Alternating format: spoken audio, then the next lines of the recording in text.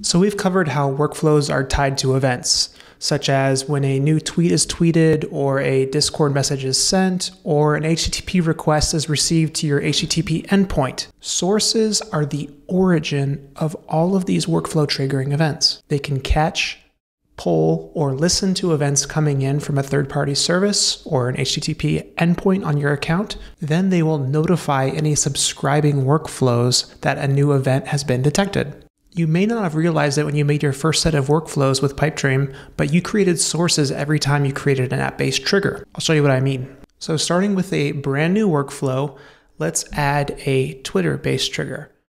We'll click the Twitter app, and then we'll search down for the search mentions.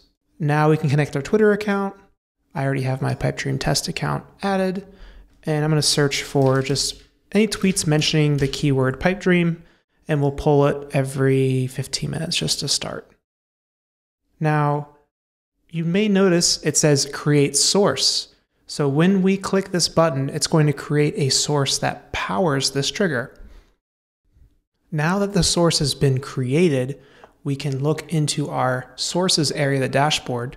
So we'll navigate over to the left-hand side and we'll open up this new sources submenu. And here we can see it created a brand new source from our workflow. This is very similar to the workflow inspector, where on the left-hand side, you'll see a list of all of the events that have been detected.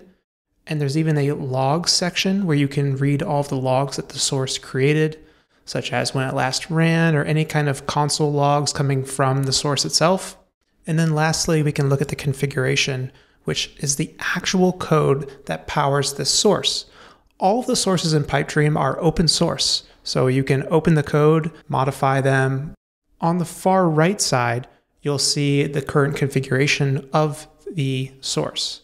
We can modify individual props like the search keyword, the geolocation of where the tweet was sent from, etc. And we can also change the polling interval of how frequently we ask Twitter for new tweets. Now, for those who don't know, polling means to ask a service for new data on a certain schedule. So for this particular source, we're asking Twitter every 15 minutes for new tweets that match our search criteria.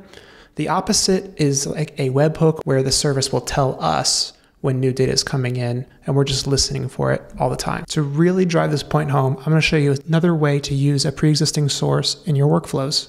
So let's go ahead and revert this workflow to have no trigger at all. And instead of selecting the Twitter app and then going through search mentions again, I'm going to use this option to use one of your existing sources. This will list all of the sources that are available on your account that are emitting events, and we can just reuse it. Now we've set the trigger to reuse a source that's already been created under our account. Sources are extremely powerful. You can even listen to sources without using a Pipedream workflow which is the subject of a different tutorial, but they are a core concept to understand how Pipedream works and how workflows subscribe to events.